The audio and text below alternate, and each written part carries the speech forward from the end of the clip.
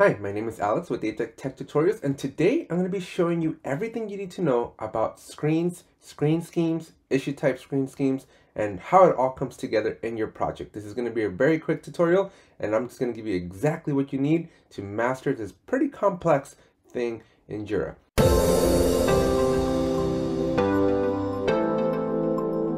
If you haven't already, please consider subscribing, drop a like if you get any value out of this video, and if you have any questions, comments, or concerns, let me know in the comment section below. Let's jump into Jira. Okay, so the first thing you want to do is you want to start down at the lowest level, which is going to be your screen, and then we're going to work our way up. So you're going to start with your screen, then we'll make a screen scheme, and then we're going to associate that screen scheme to an issue type screen scheme, and then that issue type screen scheme is associated to your project. So if you're still kind of like, what the heck are you talking about? Let me show you with an example. So first thing we're going to do is we're going to go to the little gear, go down to issues, and then on the left hand side, find yourself the screens. So click on there and we're just going to make a screen. Okay. And this is going to be a screen called, I don't know, we can call it whatever we want, but this is going to be a demo screen. Okay. Now, when you go this route, one of the disadvantages is that the screen is completely blank. And so required fields such as your summary, which has to be in every single issue, these will not come over. So you're going to have to remember to add them. And so I sometimes recommend that it's just easier to copy an existing screen and just rename it. But in this particular case, I clicked on add screen and I made a whole new screen. I'm going to stick to that, but just be aware that if you run into a problem, you can run into a problem where if you don't include a required field such as a summary, Jira is going to complain and you're going to have to come back in and add it in. So just wanted to give you a heads up here. Anyways, once it's created, you're gonna go in and click into it, and then you you basically have a blank canvas. So this is where we're gonna, the first thing we're gonna do is we're gonna bring in our summary. And then we'll bring in common things like the assignee, the reporter, right? Your, your typical standard required fields. We can bring in the description. And then if you have any other custom fields that, that you want, you can bring those in too, or you can do pretty much whatever you want. You can bring in your story points, right? So you're kind of free to do whatever you need to do at this point and just build the screen however you want with whatever requirements have been given to you and add those in there. So now that I have a screen, now I have to go and create a screen scheme.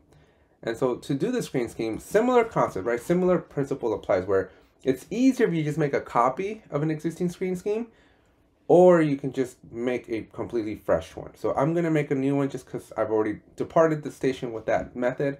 And so I'm just to come over here, click on add screen scheme, give it a name, a demo screen scheme. And this is where the chicken and egg kind of situation happens. And this is why it was so critical that we did the first step first. Because now here, under default screen, it's asking me to pick my screen. And so you can see if you hadn't created the screen, then you wouldn't have the option to put this in here. So you'd have to hit cancel, you'd have to go back. And so do yourself a favor, follow my rules and just create the screen first and then let's go to the screen scheme. So once you have those done, you can click on add and essentially your screen scheme now has your screen associated. So when I click into it, it will say that I have a demo screen as my screen. Now the, the operations, if you recall from another video that I might have done, it was a live stream. Uh, you have three options. You have the create, you have the edit, and you have the view. And so you could, if you wanted to, create different screens that basically will alter the fields that are present, whether you're trying to create an issue, view an issue, or edit an issue. That's a little bit more of an advanced topic, but you can kind of see it here where you can pick which of these three operations you want to do, and then which screen is going to be associated to it. So this is again a, very, a little bit more of a niche uh, topic, so let me know if you're interested in that, and I can definitely cover that kind of an example. But I do have a, a live stream that you can check out where I do go over those details. Okay, so now that we have our screen scheme and we have our screen, now it's time to associate it to what's called an issue type screen scheme. And again, you want to you want to kind of do it in this order because if you would have started at the top and worked your way down, you would be missing things. So in this particular case, we're ready to actually go into our issue type screen scheme and associate our fields here. So I'm going to come down over here to issue type screen schemes, click on that. And again, since I've already left this station, I'm just going to make a completely new one and call it a demo issue type screen scheme. Now, things can get, this is probably where things get the most trickiest because everything that I've done, the screens and the screen schemes, they're very one-to-one. They're very much one screen gets a set of fields and the screen scheme kind of contains that. All of those fields and go into the screen and the screen goes into a container of screen schemes. This is where the issue type screen scheme can now hold a, is a container for a bunch of different screen schemes. And so you can see how this starts getting a little bit trickier to understand, but hopefully with this demo, you can kind of visualize that when you go to the issue type screen scheme, you have to go and call out your default screen scheme. Now this is just simply the default fields that are essentially going to be shown for all of the issue types in your project. What makes this cool in a company managed project you can define different fields to be on different issue types. And so you would start at the bottom with your screens and you would put all the fields that you want for a particular issue type there. And then you would put that into a screen scheme and that screen scheme goes into the issue type screen scheme. But in the issue type screen scheme, we are going to call out what issue type is impacted. By default, all the issue types get to whatever screen scheme you defined. But you have the option to associate whatever issue type is available in your Jira instance with whatever screen scheme you want. And so you can you may have noticed that out of the box, Jira comes with the bug screen and a default. And what this basically means is that Jira treats bugs separately. So bugs can kind of have their own fields defined, and then everything else gets grouped together in a software company managed project. And so you can kind of take that further, make something for the epic. As you can see here, I've done one for my epics, right? Your task can get a different one, your subtask can get a different screen. And so you can really, really fine tune what fields show up for which issue type.